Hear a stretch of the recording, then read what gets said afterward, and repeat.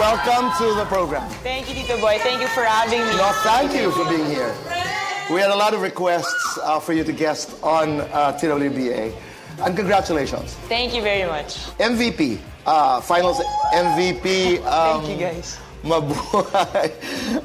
Okay, um, how, did- how did that feel? Um, when they and actually, I didn't think they were gonna pick me as Finals MVP anymore.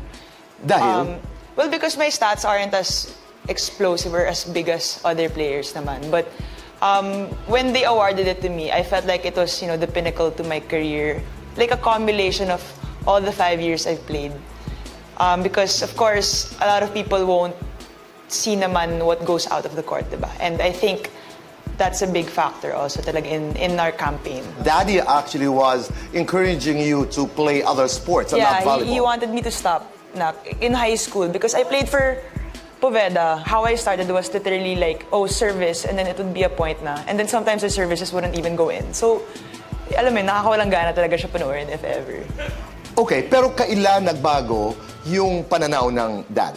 I think when the sport started to pick up in Atelai's time, it was really big. I was fourth Eliza's year. time? Yes. I was Okay. fourth year high school when season 76 came about, and that was the Cinderella run of Ateneo. And my dad started to consider na rin na, oh, hey, like, you're really tall, I, you're athletic naman. I think it, we might actually have a future here. So, we tried out in, in multiple schools, and um, ayun, talagang timing lang when I got into Ateneo because they lack middles. Now, when you do conversations with dad, um, what does he tell you? Coming from hindi ako bilib sa'yo to uh, finals MVP. He's like a second coach. no, He's like a second Dad. coach. um, like, but he really encourages me naman. Like, he tells me all the time na kaya, kaya mo naman talaga, kaya niyo yung kalaban niyo. Um, you know, dad stuff. But it's a mix. He's like, sayang hindi mo nakuha yung isa. It's like, yeah, that's true.